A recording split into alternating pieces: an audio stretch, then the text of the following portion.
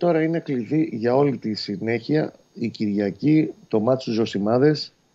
Ε, ξέρεις, θεωρητικά πάντα ο Πας Γιάννηνα για τους περισσότερους είναι αδύναμος κρίκος της Εξάδας, αλλά επενθυμίζω ότι ο Πας Γιάννηνα έχει μέχρι τώρα δύο ισοπαλίες και έχασα τον Μπάουξ στο 90 στην Τούμπα με τον κολ του Άκπομ.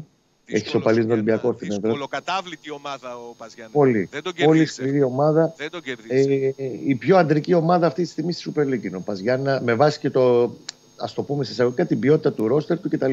Είναι πάρα πολύ σκληρή ομάδα. Υπενθυμίζω επίσης ότι ο Παναθηναϊκός Στις τελευταίες έξι εκτός έδρας αναμετρήσεων με τον Μπας Γιάννη σε πρωτάθλημα και κύπελο, η μία είναι στο Αγρίνιο πέρσι, πέντε συν μία λοιπόν, έχει έξι ήττες. Δεν έχει σοπαλίε. Έχει έξι ήττες. Οπότε κάποια στιγμή και αυτό το σερί, το αρνητικό, από τη στιγμή που πήρε τώρα φόρα και αρχίζει και σπάει τα αρνητικά σερί ο Παναθηναϊκός και το αρνητικό σου σερί επί του Λουτσέσκου έσπασε και την πρώτη του νίκη σαν προπονητής κόντρα στον Μπάουκ πήρε Γιωβάνοβιτς. Νομίζω ότι αν. Πολύ πανηγυρικός ο Γιωβάνοβιτς. Τι είχε yeah. άγχος είναι σε πίεση τι; Ήταν... Όχι, δεν ήταν θέμα πίεσης. Είναι...